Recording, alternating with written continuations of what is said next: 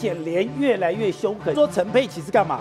他说你是拿着现钞存在你的长子、长女跟次女三个人的户头。对他之前都没有点到这三个人的名字哦。是，那你为什么要存到这个你的子女的账户里面？因为很难追查。起承断点。所以师兄，昨天刚讲到，当查到这个保险箱的时候，这个案情就有突破性发展了。对，没错。我们讲昨天呢，这个另外一个主帅，因为主帅柯文哲已经被被羁押，另外一个主帅就是陈佩琪，昨天为什么会出来大拉拉的开了这个记者会？他眼下就好像跟你们剪掉，互相就是说，哎，我绝对没有你们犯的这些所谓不明来源罪。可是问题是，他为什么要这样出来开这个记者会？主要因有两个，第一个，因为呢，哎，这个所谓保管箱已经被人家查获了。保险箱被查获里面来说，很多东西已经被、嗯、知道了，被知道之后怎么办？我当然要赶快出来说明，因为就像我们都讲的，你有一个查扣清单啊，是你把查扣清单弄出来就好了。对，但是他问题上不要不敢这样讲，他是说什么啊？这里面来说是金饰、我的嫁妆、玉器，还有各五十万的现金，合计百万现金这样一个状况。可是宝姐，我们今天东森新闻特别去问了，问了之后呢，是里面有什么东西呢？里面来说的话，一个是这样，有没有 USB？没有 USB，、哦，没有 USB，对，但是有什么？有黄金。他还这边说是黄金哦，黄金一般我们的印象就知道，黄金的金条或者那种小小鱼那种黄金，说是黄金哦。对所以呢，除不是金饰，对，也不是金项链，是是黄金。好，所以我们讲佩奇除了喜欢听嘚嘚嘚的声音之外，还有另外一种声音。锵锵锵的声音，金条两个互相打出来就锵锵锵沉重的声音，他也喜欢听他喜欢这个声音。黄金的沉重感对，那那这里面就放在这里面。另外文件里面来说是房契、地契，或者是说其他东东西吧。他说他就嗯嗯差不多，所以看起来的话里面有非常多的文件哦，有地契、房契，有可能还搞不好还有很多东西在这里面了。所以等于是简单来说，减掉在查这个 A 这个所谓保管箱的时候，应该是有丰硕的收获。所以也就是说，因为有丰硕的收获的时候，你看昨天事实上这个陈佩琪在回应减减掉，假设是说，哎，我减掉你根本就查到这种什么五十万两个，然后这些东西来说。应该是减掉你是失败啦，对可是他没有对，没有没有说只减掉怎么样。要是这个柯文哲马上就说，哎、这个大拉拉来我第三党的这个政家里面这样查这个怎样，他就开始会抄家灭族会对这个减掉炮轰。他昨天并没有哦，所以显见他也知道说这里面的问题是相当大条，但是他赶快要把这个讯息 send 给另外一个人，赶快说，哎、我们这个被抄了，这件事情你要赶快知道这件事情嘛，哈。所以显见。这个所谓保管箱被突破这件事情里面来说，的确是最近减掉发现到一个非常重大的突破口也。就是至少是保险箱里面的东西没有像陈佩琪昨天讲的那样子云淡风对，轻哎，。抱歉，如果有黄金的话，哎，黄金一条黄金现在仅是一条黄金来说是好几百万都有可能哦。一公斤现在两百五十三万对，好，那你这到底从哪里来？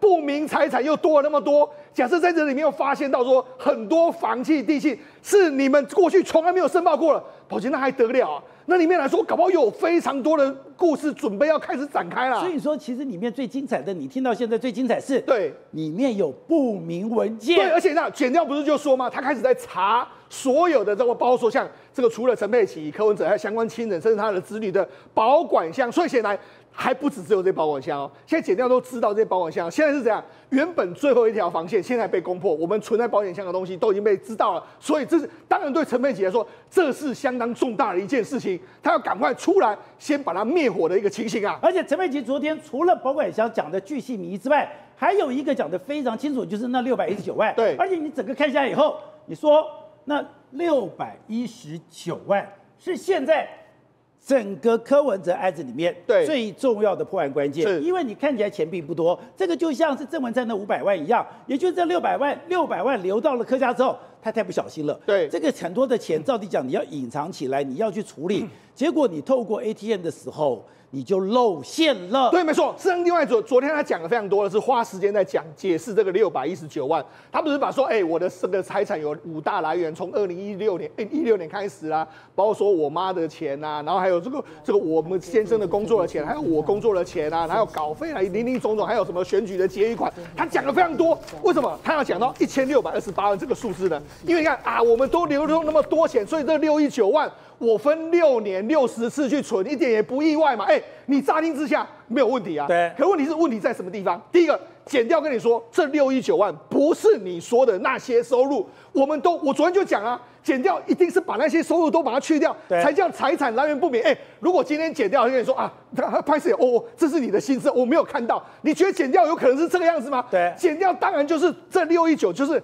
你完全不知道从何而来的收入嘛。好，我们看到就是你今天陈佩琪开了记者会之后，简联就透过了媒体放的话，讲得非常清楚。他说，简联是在清查柯文哲跟陈佩琪历年的你的薪资、稿费、演讲费，你刚刚讲这些钱对不对？这都已经扣掉了。对，你都扣掉之后，还是有六百一十九是来源不明。对，而且他说我们不是认为陈佩琪经手的钱全部有问题哦，所以就陈佩琪经手的钱很多很多，但是我们只有挑出这个六百一十九万是真的有问题哦，而且我就讲都已经扣掉了，我们能够知道的所有的钱都已经把它扣掉了，这些都是，那你就还讲这么多干什么？所以显见就是减减掉了六一九万，是真的认为你这个是来源不明，到目前为止都没办法解释清楚的一个状况。而且陈佩琪也讲说，哎，那是从他的妈妈的账户啦，他从二零一七年到二零二四年提领多少钱？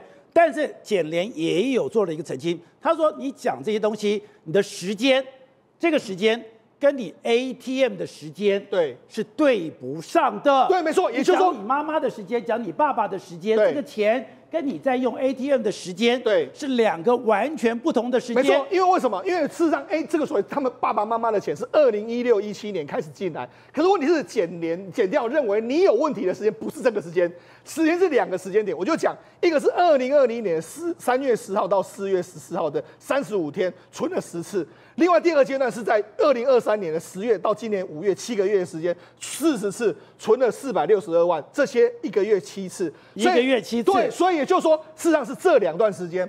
问题是跟这段时间完全都连连不起来，也就是说，宝杰，我跟他讲，为什么这个很重要？因为你这些钱来说啊，之前就有来来去去，来来去去，都已经结掉了嘛。这就是这段时间里面我查查了这么多，你这些给我已经汇来汇去，汇来汇去都已经清楚了。问题是这些钱是突然冒出来的，冒出来之后，那这两段时间你存你存的钱，你没办法说明清楚。所以跟你讲，他等于是在给你打模糊战，反正我一六八二大于六一九，然后你说我什么，我六年存了六十次，然后什么奇怪，可是减减年只有说你在这几个月的时间，约莫是三五哎五到六个月的时候，你一共存了六十次的时间，这是完全不一样的概念而。且今天减联越来越凶狠，今天减联也越来越逼向他的子女。为什么？因为之前只讲说哦，你把这个钱存进去，存进去嘛，存到你自己的户头，存到不明的户头里面，只说你用了 ATM。对，今天讲的更清楚了哦。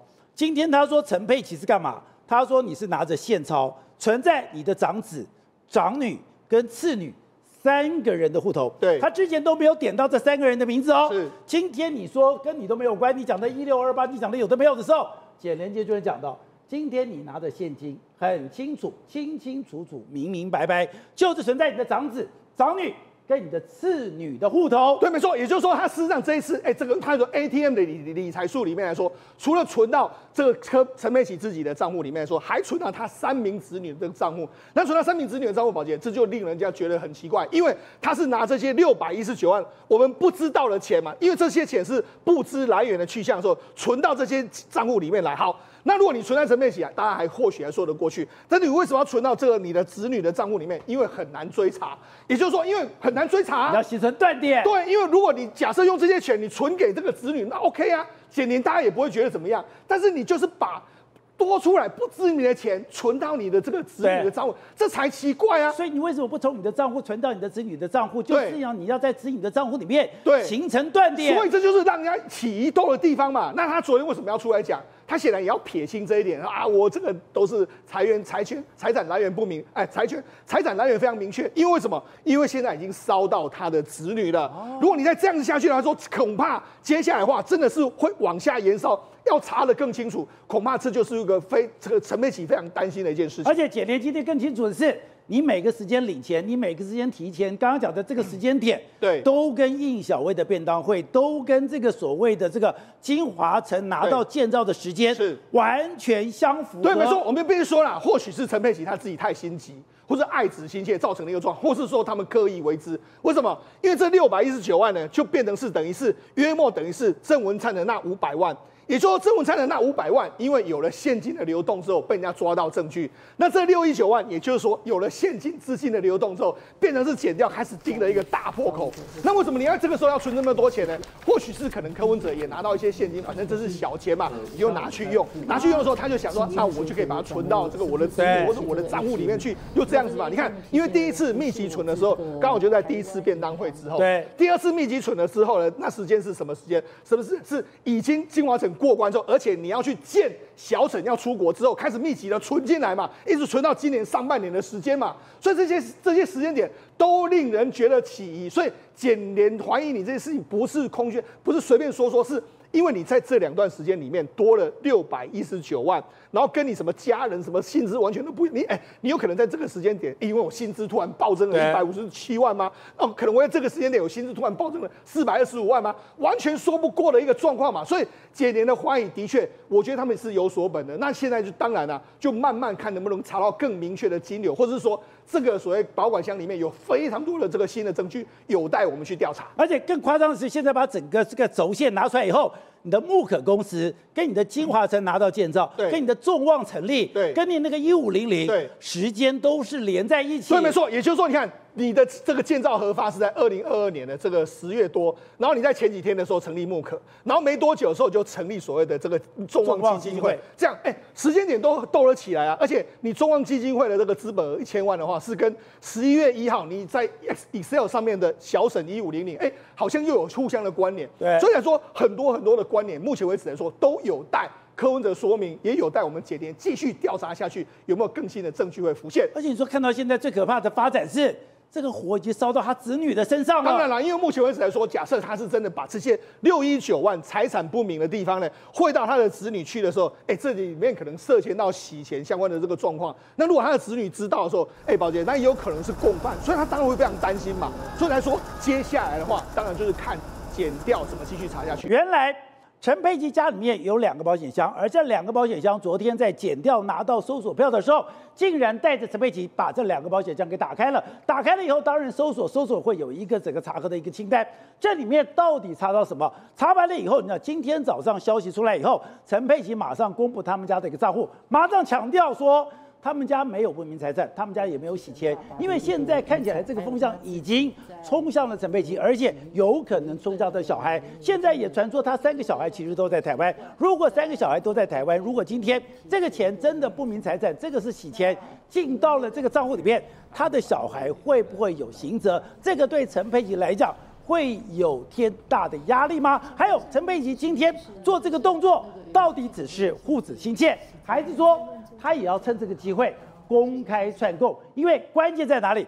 关键在这两个保险箱居然各放了五十万，你怎么可能说两个保险箱各放五十万？而且陈佩琪说法非常有趣，是因为他的先生工作非常不安定，他没有安全感，所以他要放一些小钱，这个小钱就是五十万，以备小孩的不时之需。所以施总看起来，陈佩琪今天解释了很多，讲了很多，乍听之下，哎。有啊，你都把账册拿出来了，你都把存折拿出来了，你都已经公开透明了，都开始。可是整个对下来，完全牛头不对马嘴。好，宝姐，我问你，为什么是今天才要公布？为什么？他他明明哎，他连这个商办的这个这个缴款的明细都给你看，然后他从二零一六年到二零二四年的所有账目，他都给你看的。为什么是今天才要公布？为什么？他可以很早就公布嘛？因为今天发生了另外一件事情，就出乎他们意料之外。也就是今天早上的时候，你看。媒体不是爆出来说，哎，检联呢去一眼呢查扣了，注意听哦，一个神秘的这个保管箱哦，一个哦，他说的是一个哦，然后里面也没有收到钱哦，都没有。就下午出来之后，你看陈佩琪说什么？他说有两个，他分别五十万，然后两个保险箱是我的，然后里面除了金饰以外，还有各五十万的现金，玉器、玉饰跟金饰。哎，今天下午我们早上知道的是一个，一个，他说的是两个，他。还多说了，对他说两个，哎，我都觉得奇怪，明明早上我们都知道说只有一个，对，然后钱多少也没有人知道，他现在说两个，然后两个五十万。都是五十万，然后里面还有现金啊，还就是现金，还有金饰，还有玉饰等等，你讲这个要干什么？而且你要这个，你讲这个要干什么？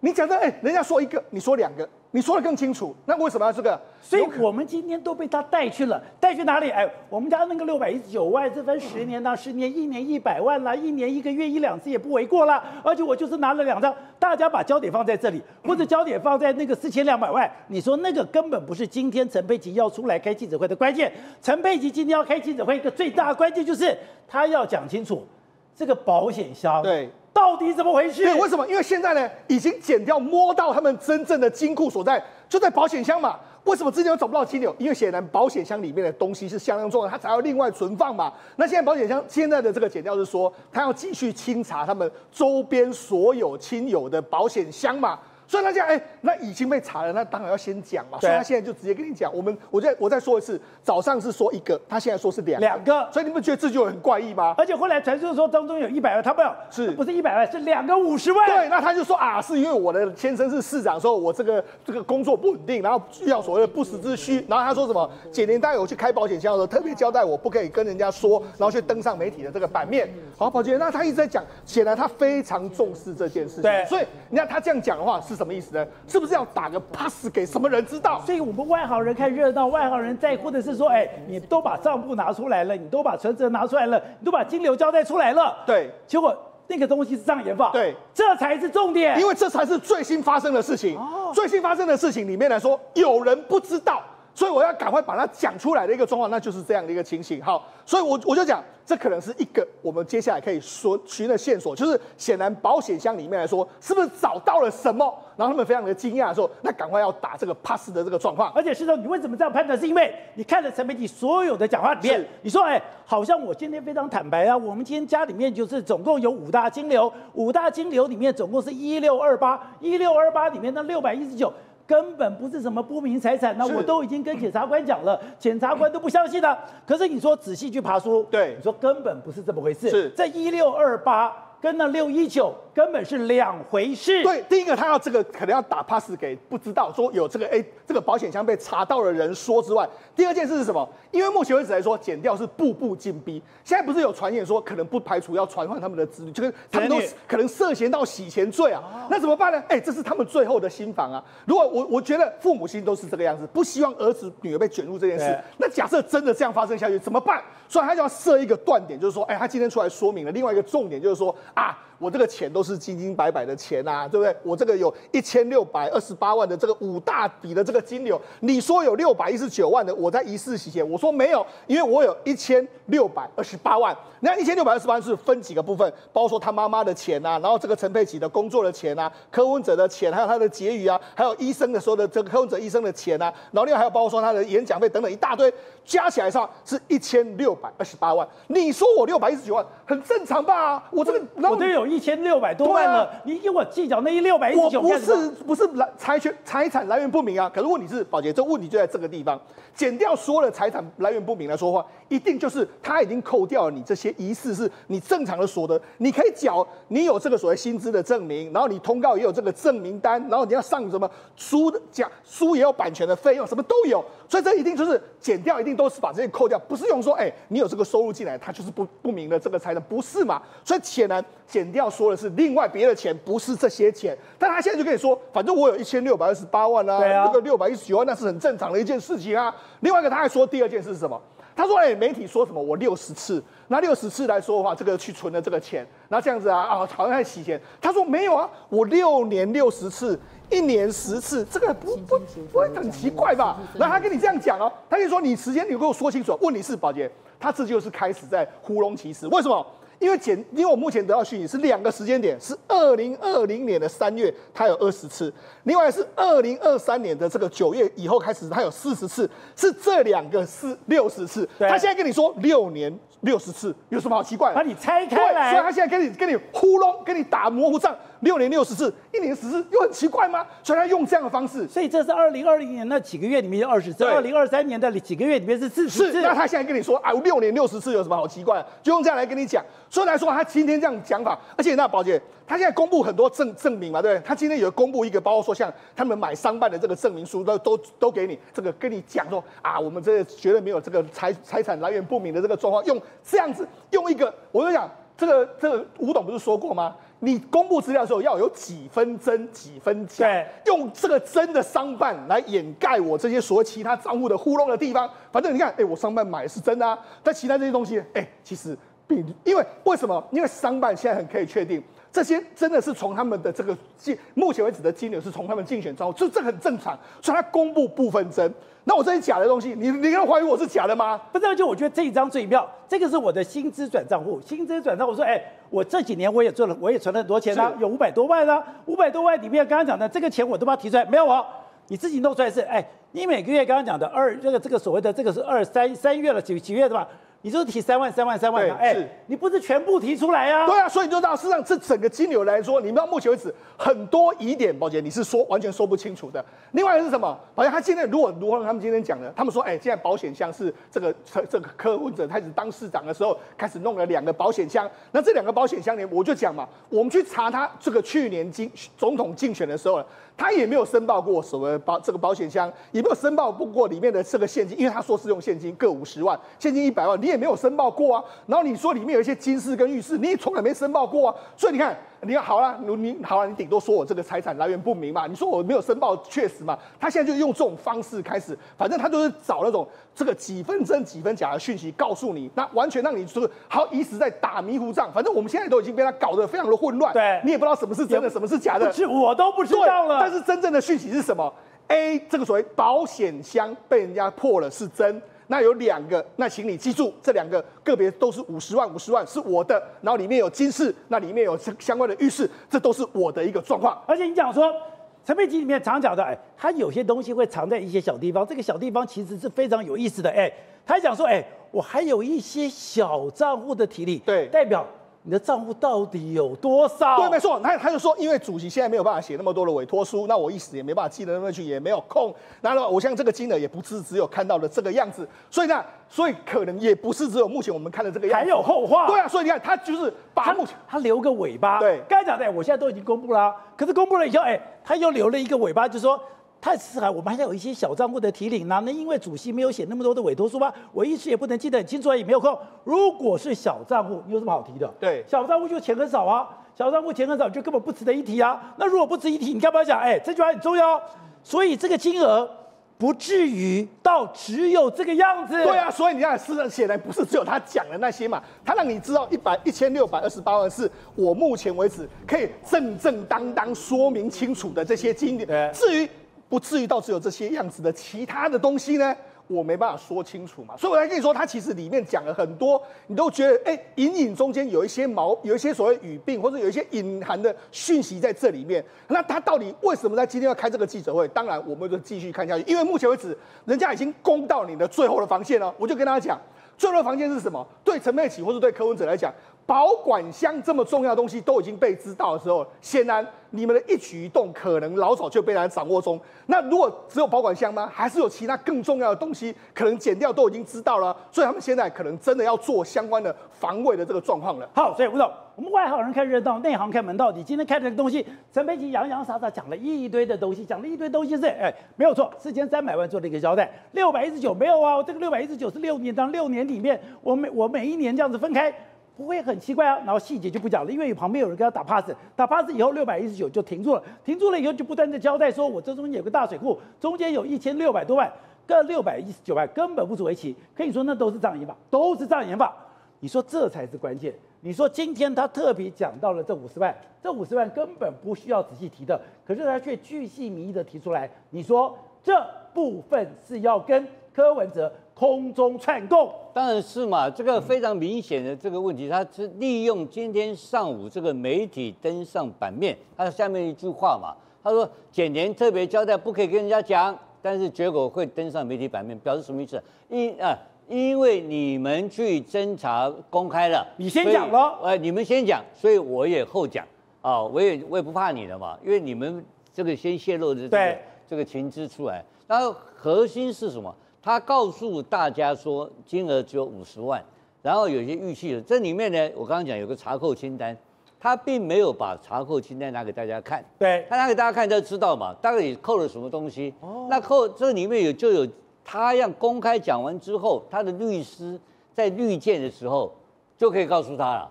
律师就没有串供问题因为这是公开资料，公开资讯啊！我告诉你，你里面只剩五十万，那这个代表什么意思呢？只有柯批知道什么意思。因为我讲很简单啊，绝对不可能这个保管箱只放五十万，任何的贪官要藏钱，那个保管箱藏的钱都以千万为单位。阿扁以前藏多少钱？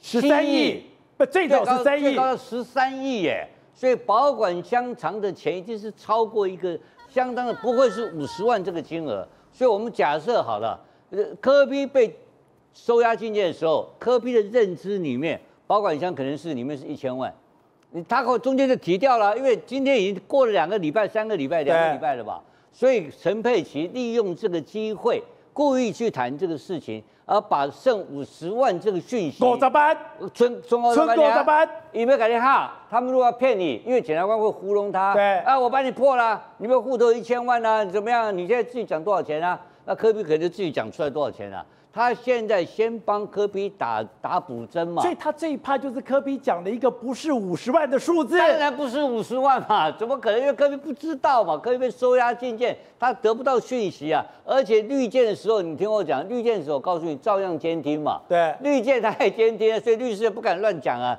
所以他是公开串供，这才是今天的目的嘛。公开串供是今天，那主要讲什么？就是要告诉他里面剩五十万了。那为什么要里里面剩五十万？这个很简单，很奇怪，有没有一个正常的家庭里面在保管箱里面藏五十万？没有这种人嘛，只有一种黑道嘛，你知道吧？那 被通缉跑路的时候，快点去银行，对不起，不，被你银行提也划不来，啊因为监监控到时候提不到啊。就像我们在看那个电影《Jason Bourne》的时候，他会有一个神秘的保管箱，里面什么？有枪、有钱、有护照。对啊，是不是？那就是这种不可能分了两个地方存五十万干什么呢？所以那个是什么钱？那个是零移动的金钱，剩下五十万。我的大胆判断，他主要要告诉科批这个讯号嘛。然后呢，里面还告诉你，他其他都没讲。有表示，我后来再沉淀了一下，想了一下，表示他告诉科批还有东西没有被找到哦，别惊。所以他就告诉就这个样子，呃，他有重要的东西，可能就我只有被他抄，只有抄到五十万跟跟金银财宝这样子而已，其他没有。换言之讲，如果有冷，如果有其他的电子、电子、电子的一些的电子、电子一些都冷钱包、冷钱包的话，没有被收到，所以这个是摆明的公开串供，告诉科比讯息，才是他今天主要目的。然后演了一大出，讲了一大堆废话。因为为什么我讲这废话？因为他讲这些金钱的事情一点意义都没有。为什么？他所有的存折、所有的财物，通通被检方查扣了嘛？对耶。我跟你我跟你谈这干什么呢？对，检方要放更快嘛，检方的消息是最快的嘛，检方全部把他的所有他们家的对。是相关的账号，因为那个很简单的，我当过台我当过台开的董事，我太懂台开以前是银行，我是银行的董事，银行你知道查扣你查扣你的资产多多简单吗？多简单，我这我们有个廉政中心呐，你的户头全国总归户，柯文哲三个字打进去，所有的账号通通出来，对。一秒钟就帮你查扣了，电子查扣。我跟你讲，不要用电话，就电子查扣。像我现在的检方，输入你的身份证字号，呃，就输入就好了。只要台北地检署发个讯号出去，就全部查扣。对，所以他早就被查扣了。只要是柯文哲跟他小孩跟他的，通通都扣完。对，所以那个金额，他有讲跟没讲道理相同。为什么要讲那么多？讲的目的是掩护、利用今天媒体登他今天被。被这个检年冲这个搜索这个保管箱的故事而释放出来一个重要的讯息给科批，然后问题是今天早上媒体讲一句话很重要的，还有他亲友的保管箱也被搜索，对，所以这次检年的行动是有备而来，而且有其他的情资做后盾，所以不是一个很简单的行为。然后他为什么那么紧张？就是因为他知道这个事情。非同小可。这两天最大的进展就是，哎，在柯文哲家里面找到一个 USB，USB 里面，哎，居然有个一五零零小枕。可是这还不是最关键的。你说为什么他舍不得把这个 USB 给毁掉？因为里面有个金钥匙。可大家非常好奇是，柯文哲懂这个金钥匙吗？他懂这个所谓的加密货币吗？当然懂嘛，宝他懂。你刚刚问了一个错的问题，说，哎呀，柯文哲看过阿扁的案例之后，为什么还这么敢？竟然敢做这件事情？因为柯文哲他有自信。他懂两件事情，阿扁绝对不懂。一个叫做 USB，随时要挂在身上；另外一个知道什么吗？就是加密货币。他懂加密货币。来，各位，首先柯文哲从二零一八年的时候他就谈到说，我们应该把加密货币、区块链这种概念呢，把它引用在里面。那时候大家百思不得其解，说你在讲什么？而且不只是这样哦，他在二零二四年的时候还去过我们讲相关的活动。他说什么？加密货币是世界的趋势。他说，台湾如果要发展的话，绝对要走在前面。所以宝的哥，他懂不懂加密货币？他懂啊，他是专家，你 pro 级的啦。包括你看哦，曾经在二零一九年的时候，他曾经参加什么？担任台北市长的时候，就跟你讲说，区块链要如何运用在民生。我跟观众朋友稍微解释一下，区块链它可以生成所谓的加密货币，也就是我们现在怀疑说那个 USB 里面藏最有的，我们讲柯文哲的五亿、十亿、十五，可能就是透过加密货币放里面。但是区块链这个东西是加密货币的根本，而且你看从头到尾，柯文哲你看啊，竞选专务也跟你讲区块链。然后呢，创新我们讲民生应用也跟你讲区块链，总统大学也跟你讲区块链，柯文哲只要提到区块链，会讲整个眼睛就发光，然后非常认真。他是非常认真的在研究这一块。他曾经参访了台湾第一个加密货币交易所的实体门市，而且他不是到了日本、到了美国去参访吗？他到美国参访干嘛？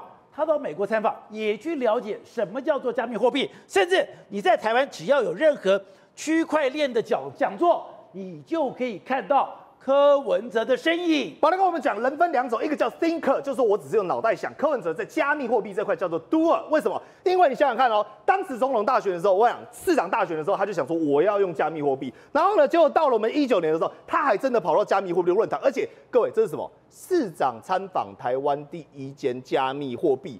交易所这个交易所是什么意思？就代表你可以从这边就可以取得你想要买到的加密货币。柯文哲有没有线？有没有人？有没有早日接触？有哎，清清楚楚。而且甚至在中统大学，他也跟你讲嘛，台湾要走在世界的前端。为什么？因为他知道这个东西太好用了。我们讲去中心化，然后你又追踪不到它的轨迹，而且呢，绝对保密防谍，没有人会知道你在那边神不知鬼不觉在干嘛。所以对于现在来讲，不只是我们就刚才讲到 casino，甚至是如果你要收贿。如果你要行贿，宝德哥，现在在境外里面犯罪，加密货币是包括 FBI、CIA 最头疼的一块，因为你只要使用加密货币，真的是非常难找。可是以前我们在讲那个什么，你透过加密货币，你要透过盘商，你透过盘商，不是所有的资料都出来了吗？把那个，这分为三种，不对哦。跟盘商买，你知道是像什么吗？像买股票。我今天去找盘商交易所买，对不对？可以买，但是呢，你不能直接我们讲的进行交易，也就是他只会给你一个我们讲类似账户东西，你可以查看，就像你看得到你的股票啊、你的股价、你的涨跌，但是所有权在谁那边？市场还在盘商那边，你只是拥有查看权而已，一切的交易只有盘商。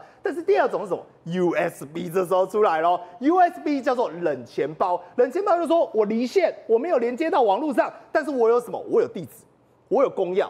我有私钥，我只要有这三样东西，我就可以去存取我的加密货币。换言之，我随时想要卖、想要买都可以。而另外一种叫什么？叫热钱包，我就是放在云端的。啊，云端呢，它会有什么危险？有可能有骇客啊，甚至有可能被人家攻击啊。所以柯文哲选择了 USB，这个叫什么？冷钱包。对，最安全的，而且绝对不会被脏到，也不会需要透过交易所，而且牢牢的放在我自己手上。来，各位，随身碟。这是二零二一年哦，也就是我们刚才讲到，你看哦，柯文哲二零二一年的二零一九年的时候，就在跟你讲说这个东西很重要，对不对？就二零二一年，果不其然，有人拿来犯罪，也是一样。随身碟也是一样，叫什么冷钱包？就我们刚才讲的，它拥有地址，拥有公钥，又有私钥。结果你看哦，拿来当什么洗钱？等于说我拿到了这种钞票。我这个钱是犯罪所得，我先把它变成加密货币之后呢，然后再通过加密货币转到正常的管道，比如说跟交易所合作，跟其他合作，然后就变成什么白花花、干干净净的现钞。难怪有人讲一叠在手，千亿带着走。对，而且我跟你讲，这个加密货币，我跟你讲最妙的是什么？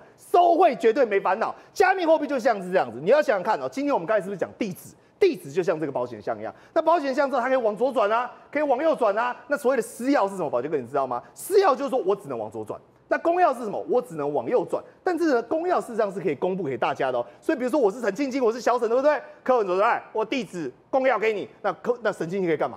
他可以把钱汇进去。那你知道汇进去之后呢？为什么只有柯文哲可以开？因为你一定要私钥才可以反方向把它转开。所以在这个逻辑状况下，只要你柯文哲，哎，我的公钥在这边，来来来来来来，一个人发一张，这我的名片。那其他的厂商如果懂加密货币的，他汇进去，全部汇进去，而且大量汇进去，而且汇进去之后他也知道是谁哦，因为汇进去之后他必须要让人家看到你的公钥私钥，把柯文哲说哦。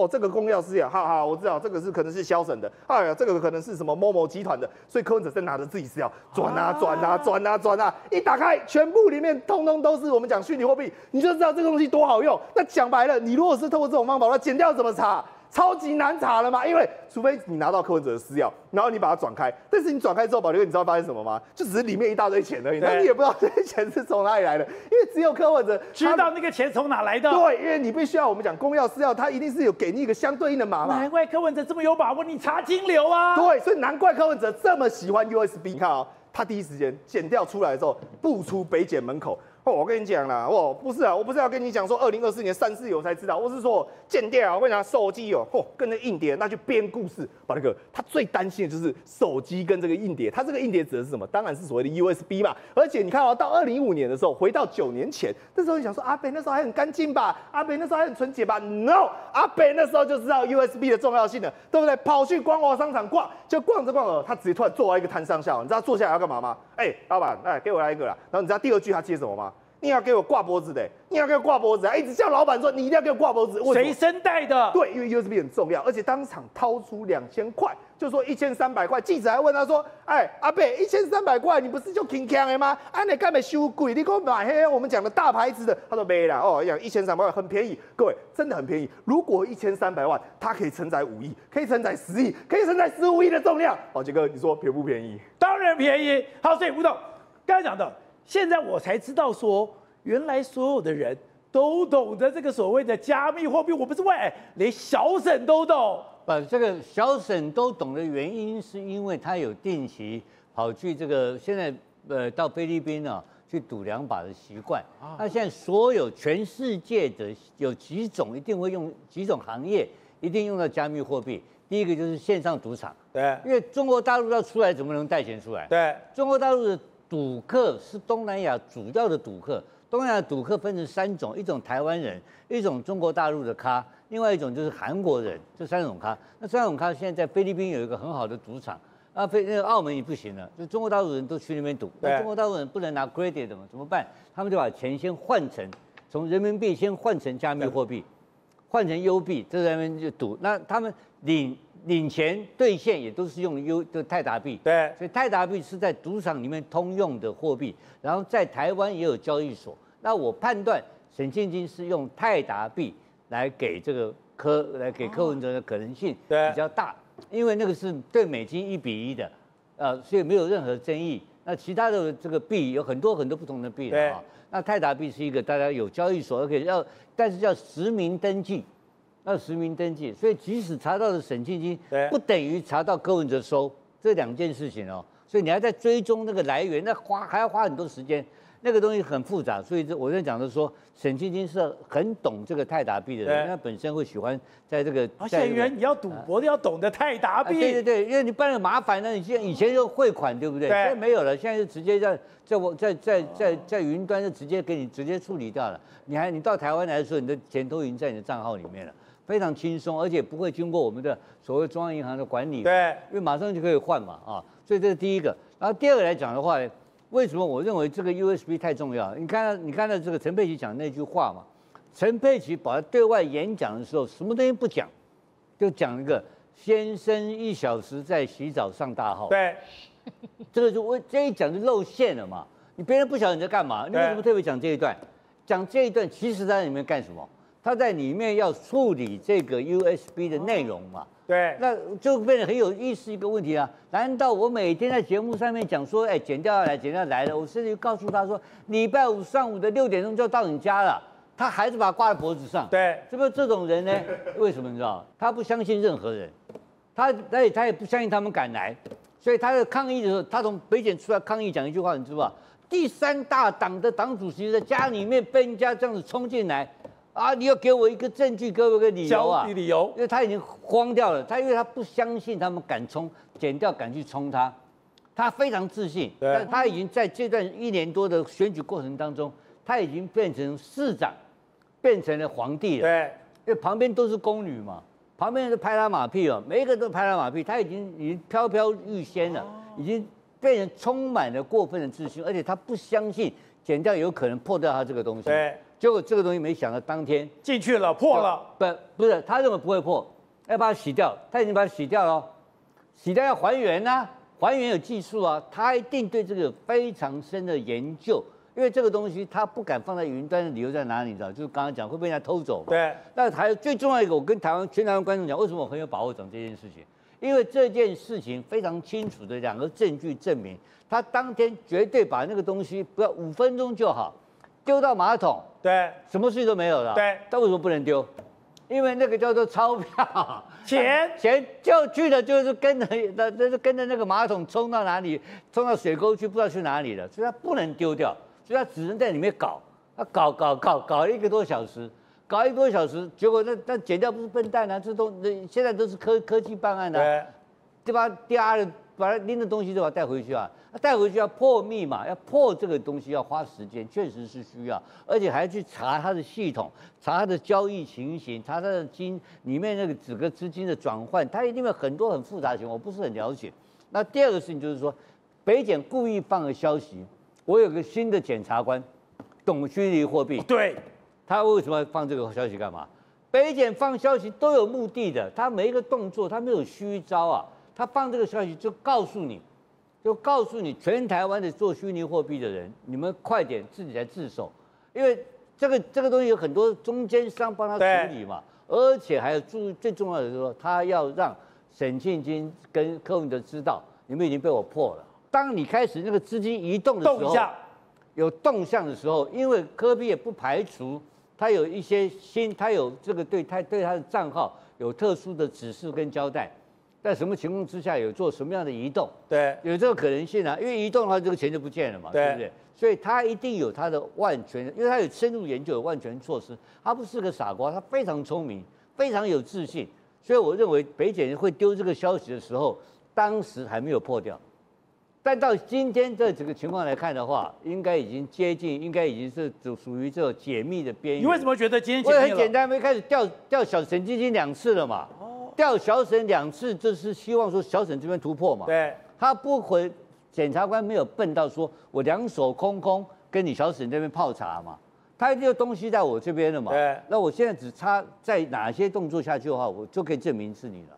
那你问你这样，就已经濒临破案边缘的情况之下，我要临门一脚。对，临门一脚，你小沈快点进来嘛，给你一个最后机会。对。那小沈如果一直一直在顽这个负隅顽抗、负隅顽抗的结果的话，那就是十年的判刑起跳嘛。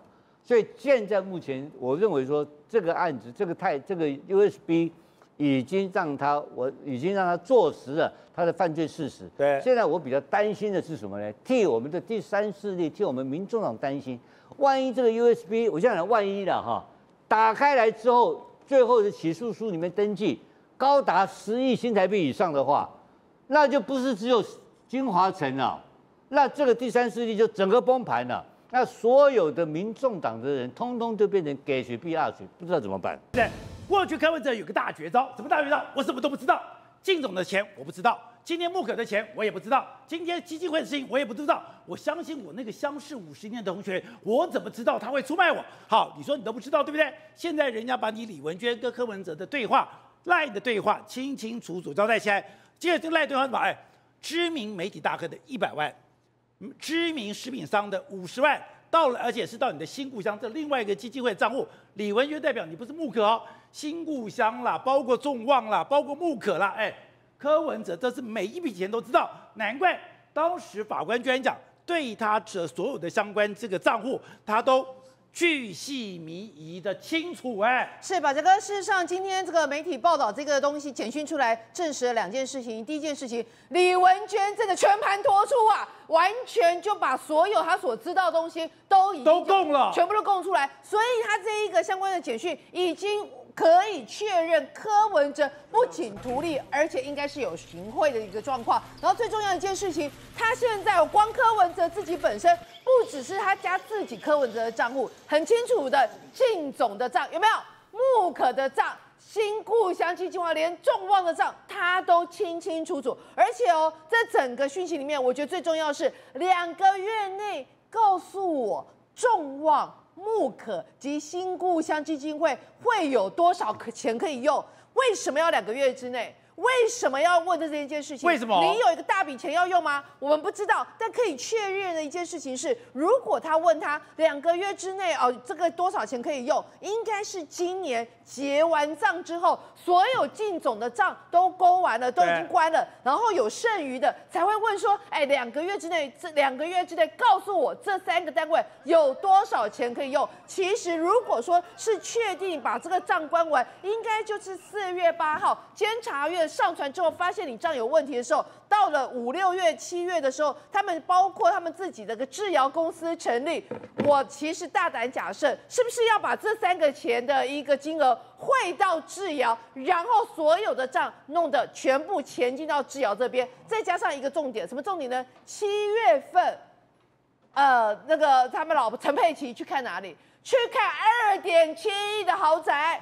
所以呢，是不是代表着这所有相关的钱要进入到哪一个停泊处，然后进行相关的处理？不然我问你，佩奇可以有钱看豪宅？不然我问你，为什么会去跟他的李文娟说，两个月内告诉我众望木可跟新故乡基金会有多少钱可以用？所以代表着他有一个东西要处理，所以要从这三个户头里面进行相关的一个资金挪用，所以要两个月之内，甚至其他的媒体也有人在揣测，是不是他跟李文娟跟李文忠之间有翻脸的状况，所以叫你这三个账都给我结清，所有东西全部移交给我。所以我觉得这个其实简讯透露出来讯息相当的多，所以他就不能讲他不知道啦。有是哎，而且是你是直接跟李文娟对话的耶，你不是什么事情都交给李文忠的。而且你看哦，现在大家都在进一步查某知名媒体的一百万元处理进度，你会发现很有趣。他说处理进度，这个处理两个字到底是我要汇给媒体一百万，还是媒体大亨要汇给我一百百万？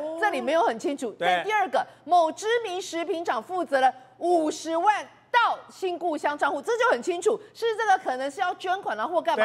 第三个、第四个更有趣，哪一些从木可公司支出，哪一些从竞选剩余的款项支出？哎，那这代表什么意思？你们现在这个支出是要支出买什么东西吗？那很奇怪，你木可要从木可支出，木可支出不是就是你那些供应商吗？那为什么？柯文哲，你要问木可支出的钱，因为不可支出的钱跟选举剩余款支出的钱是不一样的。我问你，你跟这家公司没有任何关系，你会去问人家说这家公司要怎么支出吗？对啊，不可能啊。所以柯文哲问说，哎，哪一些从木可支出？那这代表什么意思？你就是木可的股东啊，你就是木可的幕后的股东或持股人，你才会去问哪一些钱从木可支出啊。不然不是很奇怪吗？我姚慧珍有办法去问说，哎，哪一些从木可支出吗？当然不可能。所以刚才讲的柯家的账、靳总的账、木可的账、众望的账跟新故乡的账，这个账是一本账。我跟你讲，宝杰不是一本账。现在减掉在追案，就靠这五本账来去查柯文哲是不是有五鬼搬运的状况。哪五本账？第一位第一本微金的账，微金的账，我们本来是以为是说哦，微金透过他自己旗下的公司可能有搬运一点八亿元，怎么样？没有。现在最新的媒体报道是总共两度搬了四点三亿元，所以现在这个微金的账，也就是说现在总共微金吐出了。四点三亿元来做整个相关的一个疏通，好，那整个相关的疏通扣除掉什么应小薇的四千七百四十万元，其他的金额，我跟你讲，柯家有一本账，柯家的这一本账是柯文哲现在发现什么？他的 USB 里面有一个是二零二二年十一月一号进来的一个一千五百万，好，所以柯文哲这个四点三亿可能涉嫌有一部分是进到柯家的一个账是一千五百万。那另外还有一个什么东西呢？现在大家在怀疑，呃，他可能有四千三百万现金，呃，去买房子。那这四千三百万元现金是不是跟柯家的账也有相关联？而这个跟这个微金的账是不是有相关联？然后再来。这个木可公司的账，木可公司的账，我们都知道，木可公司有汇一个四百五十万进入到科的这个部分，所以被人家说，哎，可能有背信罪。而这个木可公司的是从哪里来？是从靳总来，所以这个靳总有汇了多少钱到木可公司？现在说法是有一千多万元哦，什么我们多汇了，你要汇给我们。所以现在其实减掉，这就是从一二三四这五本账里面去勾出，现在很确定的微金出了四千五百万。哎，四亿三千万，四点三亿，四点三亿。那四点三亿是怎么去串流的，进行相关的勾稽？我跟你讲，其实我们现在发现，我今天特别去查了，我想众望基金会，对啊，大家都没有讲到众望基金，我去查，我发现众望基金会也不简单哎。众望基金会，你猜是哪一天成立？众望基来基金会现在是二零二二年一月二十一月二号成立。二零二二年十一月一号，柯文哲有了一千五百万。零零。二零二二年十一月二号，众望基金会成立，成立的资本额就是一千万。那我不知道这两笔是分开的还是合在一起的。最有趣的一件事情是，二零二三年跟二零二四年，众望基金会总计进来了两千多万。结果他说他有做一些慈善，做一些公益，户头里面剩不到多少钱。但是他所公告捐助的资料完全没有揭露，换句话说，有两千七百万进入到这个基金会，对洗钱中心出去哪里不知道，但里面户头已经没有太多钱，所以这两千多万到底挪去哪里，用在哪里？柯文哲始终从目前账上完全看不出来。好，瑞德，你昨天就讲过。现在这个木可公司金华城的案子，每个时间都环环相扣。没有想到众望基金会居然是在十一月二号，也就是十一月一号确定那个有一五零零之后马上成立。更妙的是，这个时候又传出他的儿子，而且陈佩琪就讲我是把钱汇到儿子的户头里面。那这中间有钱流到海外去吗？你不要忘记一件事情啊，为什么呢？那么木可公司是什么时候成立的？二零二二年的十月十四号成立。四天后，金华城百分之八百四十容积率就过了。对，隔天十九号就赶快叫大家去动土了，动土了。那紧接而来，刚刚讲的什么基金会什么什么就就成立了嘛。咋里电动共咋里也怎么那么巧呢？今天最大的重看点是，之前都说 ATM 陈佩其实存了一百多万，今天人家周刊直接跟你讲六六百万。我跟你讲，陈佩琪应该出来否认，那么否认也没有用，最主要就把铁证如山拿出来就好了。钟小平特别市议员一直不是在咬那个四千三百万的商办的问题嘛？对，那还不简单？陈佩琪说，因为存折本被这个啊那个廉政署给扣走了嘛？那很简单，直接到银行去，要求银行把汇款单、汇款记录跟你的存折的相关的支出，还有你的存折呃那个存进去的钱啊，跟那个支出钱全部一出来就好了。除了你不想让我们知道的钱之外，其他可以公开的，包括你存进去多少钱嘛，包括你汇了，你应该照理来讲，你既然有网银汇款记录，你一定是汇了四千三百万给商办嘛，直接公布就好了，也不用开记者会，网络直接在你的脸书公布就好了嘛。已经多久了，你公布出来？我今天要是陈佩琪的话，人家今天周刊直接讲六百万呢。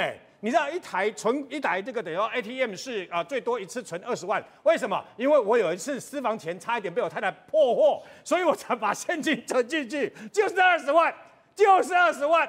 然后呢，网银网银这样子可以汇五百万，然后各式的这种汇款加起来，包括临柜加起来两千万，一天就是一个人限两千万，个人，除非你有约定跟这个等于说你是啊这个银行的 A 那个 VIP 的客户，你可以酌增，否则就是两千万。这些都是有迹可循，你为什么不把证据这直接拿出来一枪毙命嘛？对，一枪打死很多人。如果真的像周刊所说的是六百万用 ATM 汇款的话，我告诉你，我要是检察官，我在这些相关的金流查了一段阶那个那个阶段了以后呢，我会把陈佩琪再约来，廉政署约来，不排除直接把证人转被告。为什么？因为你们夫妻你在干嘛？你在对金流的部分进行一个相关的操作嘛？对，当然是被告。所以呢，事实上今天这个事情太复杂了，而且呢，记不记得那个法官在裁定收押他的时候说，柯文哲掌配掌握支配自己的账户，巨细靡遗，环环相扣，精明干练。今天就直接给你爆出来了，他跟李文娟之间的对话，你的这个等于说相关的这个啊，包括众望穆可新故乡基金会有多少钱，我现在可以马上用干嘛？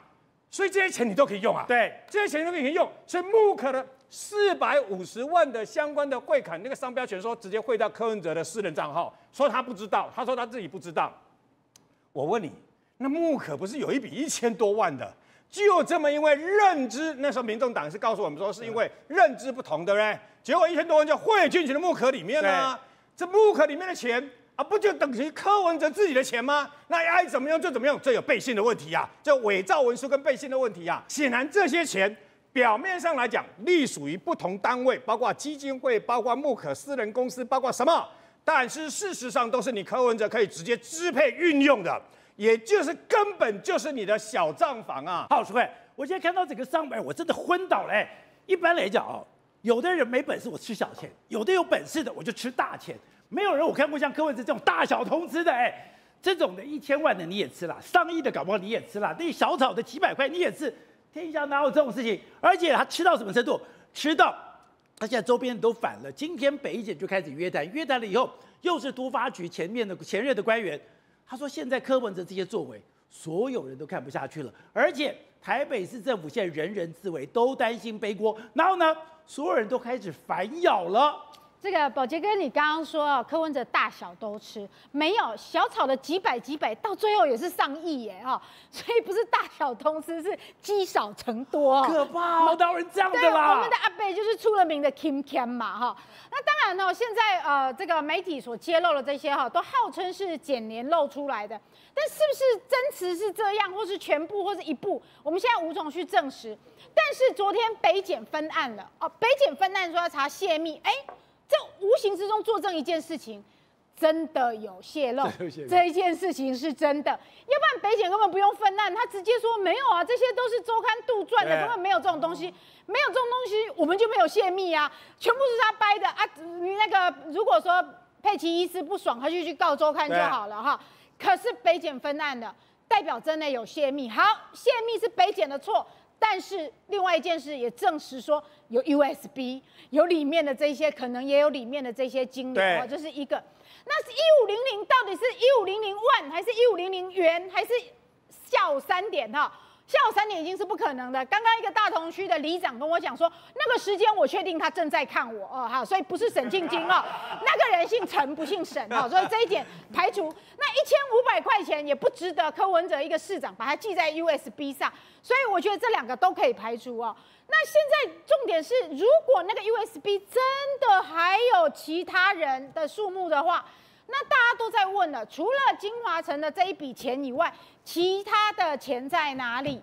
其他钱在哪里？对，我觉得大家都已经在敲完，想要知道那个藏宝库在哪里了。钱真的很多吗？对，真的很多。这个一百，那个一千哦，哎，你你让他听座位哦，还很金就这了。我看到这个东西，那个真叫大海不择细流。那可是现在虽然号称多加了一个专门办金流的检察官，但是我还是悲观。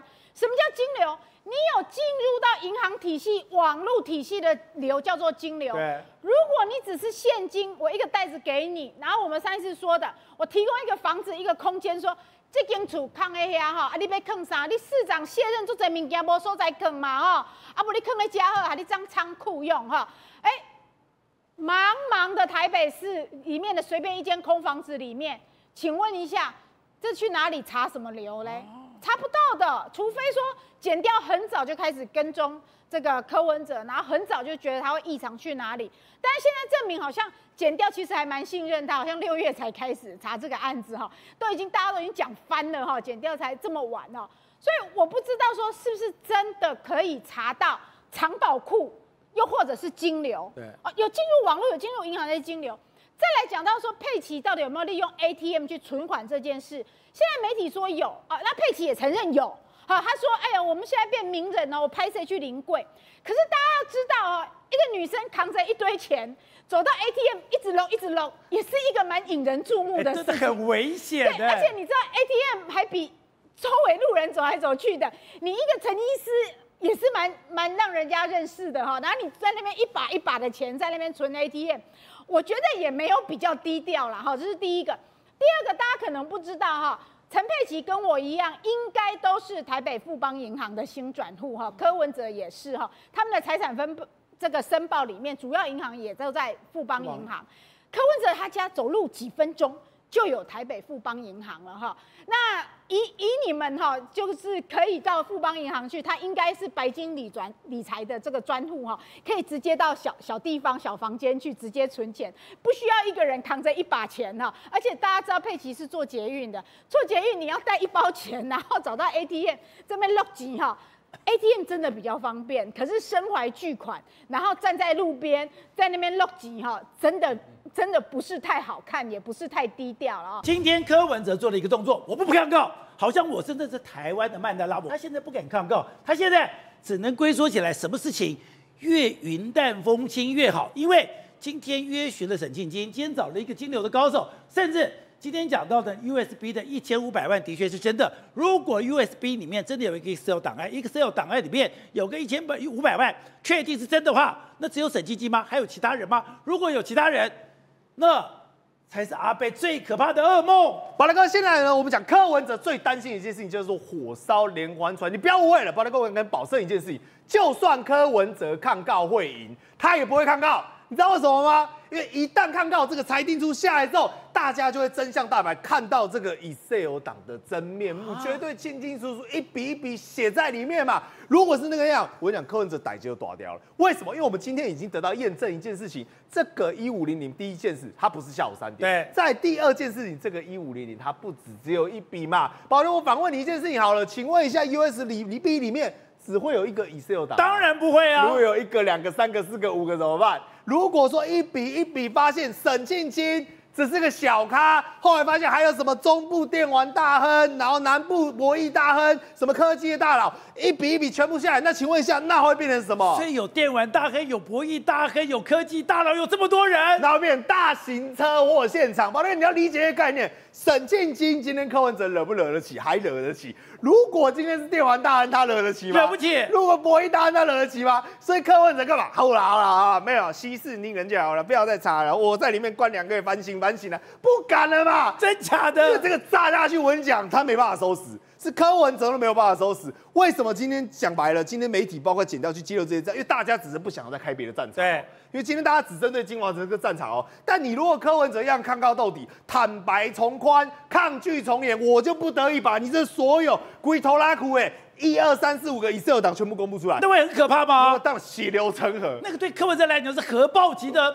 不是，宝来，我就问一个问题啊。如果说，因为今天都是媒体报道，如果今天检调证明柯文哲有拿博弈大案钱，柯文哲有拿电玩大案钱，柯文哲有拿某某某钱，那我请问一下，柯文哲要怎么修算？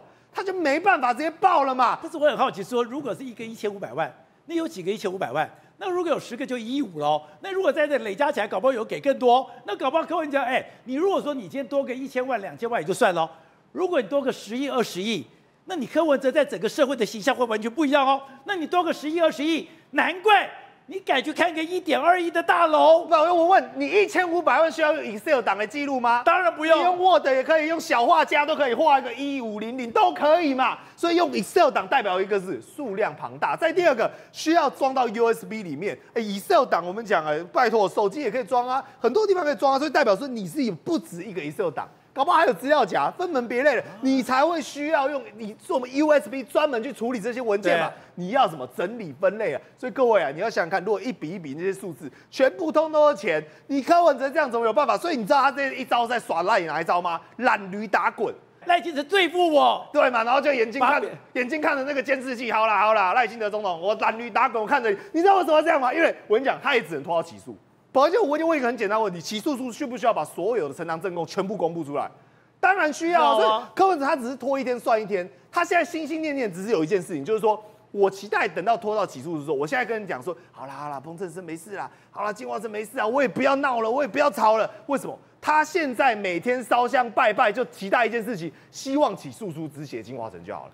他只害怕这件事情嘛，因为如果起诉是说根据该 Excel 档，因为柯文哲呢还顽强抵抗，对不对？打死不认。那打死不认，我们现在的结果里面呢，发现说跟他的口供不一样，因为里面有 A B C D E F G，然后全部卷宗全部公布在这个起诉书里面。那宝德哥他会变什么？你知道吗？是郑文灿二点零啊！你看一下郑文灿那个时候顽强抵抗，结果是什么？你开会我也把你公布出来，你对话记录我也把你公布出来，你老白嘴就短，我也把你公布出来，巨细靡遗。对未来后续还有我们讲北四科、清华城、台智光、地狱果上场、南港 BOT 案，但现在最害怕的是什么？不是六大案呢、如果变十六大案怎么办？如果变二十六大案怎么办？他说我还是不要好了，因为我后面案子还很多所。以关键在那个 Excel 档，对所以才是钱。对，不是那个我跟你讲，宝德哥，那不是钱的问题。你想想看，他如果惹到不该惹的人，哦对哦把不该惹的惹惹出来，他搞不好连监狱都出不来，这是最可怕的吧。你如果惹到白的、明面的就算了，但如果你今天拿的是黑的，是有一些奇怪的，在监狱有势力，我跟你讲，根本会倒大霉。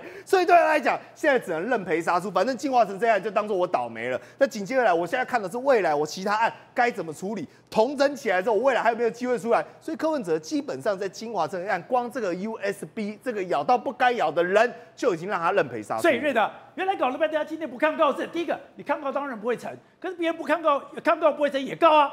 他说现在最好是大事化小，小事化无，息事息事宁人，因为。他不能让那个 USB 里面的东西露出来。那 USB 里面真的有很多其他的人吗？有很多不同的金钱吗？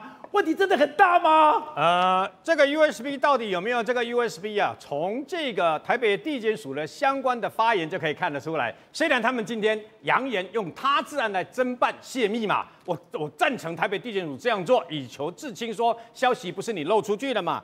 他们用八个字来形容，叫做不予置评。无法这个证实这个东西出来以后，真的对阿贝来讲是一个核爆级的灾难吗？我告诉各位了，有关于那个什么一呃这个一五零零，不是马上就有政客马上说，哎呀，或者酸民说那是啊一五零零就下午三点嘛，今天马上就打脸你了，马上把柯文哲的当天二零二二年的十一月一号下午整个行程弄出来给你看嘛。要死不死，刚好那一天下午两点多的时候，他到了大同区的相关的李那个相关的李明活动中心嘛，两家电视台刚好又拍到当时的时钟是两点多，他三点离开，三点半的时候到达另外一个地方，当时他的民政那个民政局长蓝世聪陪同嘛，还有一堆里长什么东西，媒体都在都拍到嘛。那我请问你，你能不能给我解释一下？那么一五零零那下午三点怎么回事？当然你也可以告诉我说，如果按照他们很会瞎掰、很会掰，他们就是说那是刚好车子开出去，然后开到路口的时候门打开，刚好有个叫小沈的人走就坐进来，聊了五分钟啊就下车了。你也可以这样掰嘛，随便你掰啦。早在上个礼拜就已经跟你讲了嘛，你们要掰四位数的说，那是一五零零是下午三点，三位数你怎么办？我记得我在这个节目里面有讲啊，三位数你怎么办？三位数你总不能跟我们掰是凌晨两点、凌晨三点嘛，对不对？所以我说明后天大家静观其变，看有没有进一步的这个得静候佳音嘛。不客气的说了，在二零一四年十年前，当时柯文哲还说他是墨绿的时候，当我所认识的一些金主，也就包括台独金主，包括我所认识的广播界的巨破媒体的大亨，这些人是怎么偶怨你的？那些钱你有申报吗？很一直到现在吴董所说的，那么代华修行一千万，你有申报吗？这些钱夯不啷当全部加起来，这十年之内那么多的钱，还有很多很有名的这个等于说啊，台湾知名的相关的人物呢，帮你帮你召集这些啊所谓的有钱人这些金主啊，为了帮你这些相关的钱，你有申报吗？磨假磨不行，洗假不能磨了。我们都在讲金华城，都在讲木可政治先金弊案，都在讲五大弊案。就你们民众党，你们从头到尾谈的都是用政治力要介入这个所谓的司法案件，你们才是真正的新党国啦。好，对吴总，你说这个东西非常妙，就是刚才讲了，刚刚瑞德帮我们讲，你七月说你要成立一个公司，然后呢，你的十月十十四号就成立了木可，成立了木可之后，十月十八号就核定了金华城的建案。我们在讲，我跑市政府那么久，最麻烦就是搞建造。建造你根本不知道什么时候下来，上来感天感恩戴德，怎么可能说，哎，你这么有把握，十八号拿到，你十九号就可以办动土？你说这个东西充满了学问的。对，他十十月十九号确定是开工典礼，那个大张旗鼓啊，那个大宴宾客，对不对？对，他还有五龙有，把握十八号会一定会下来。对，因为为什么你知道吧？因为这个十九号的这个请帖已经发出去了，所有台北市政府的官员都知道，对，市长当天要在这里，所以他就用市长抵达破开工典礼破土这个事情，对，来强暴市政府的官员配合，你非给我建造不可，倒推法，所以把搞得市政府的官员就鸡飞狗跳墙，就有一个必须完成时间。Deadline 最后期限就是十八号。对，那，十八号为什么这十八号重要呢？因为十八号完了以后，就才有十一月一号嘛。对，所以十一月一号那个一千幺幺五零零是什么意思？我们现在目前判断是金额嘛。对，好，那现在问题来了，他写这个干什么呢？要我的话，你如果你总共假设我只拿三千万红包，对你给我个一千五，我也拿着算了吧。我我等那人去记账干什么呢？没有记账这种那东西的记账嘛，不然这个金额很大，或者很多笔，还有很多笔，笔数太多，笔数太多哈。我现在不是讲沈庆金笔数太多，还有另还有什么？还有其他的企业家。所以为什么我现在想通了？为什么北检要派一个年轻的、懂得搞这个金金流的专家？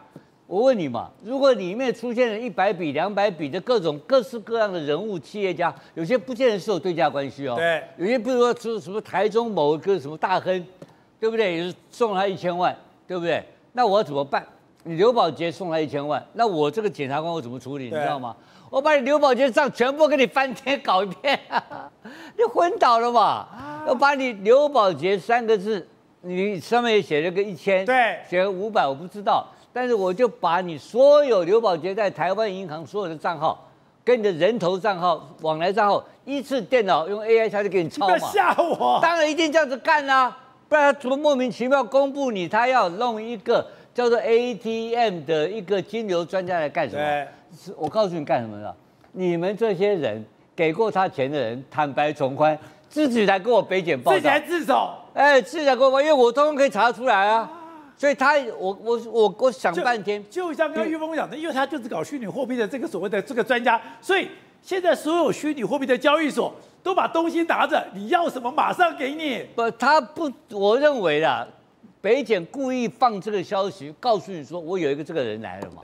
那当然内行知道这个人来会什么样的灾难会来临嘛。对对对对这是第一个嘛，那这是专业。然后还有一些有送过他钱的人嘛，有送过他钱的人，他如果他知道一个账号，他可能可以超出一千个账号，那这个问题多麻烦，你知道吧？哎，我搞不好讲难听，吴子嘉可能养了个小三，对我每个月给小三二十万。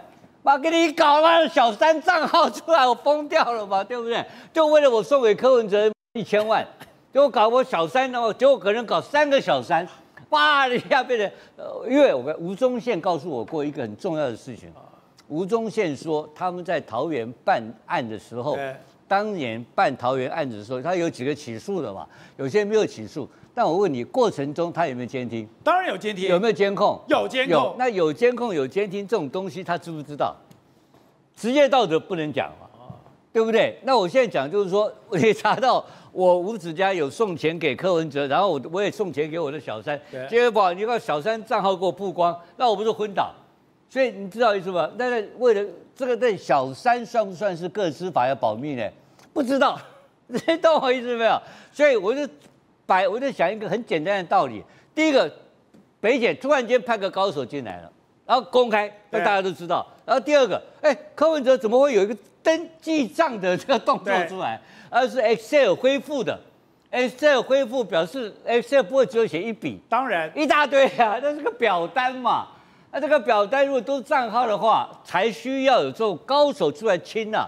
那个清账的时候，那个是好几万个账号在那边交叉比对啊。所以这个事情呢、到最后难看，可能最后我们发现了，柯文哲现在家财万贯，可能有二三十亿的富翁，这才是台湾的笑话。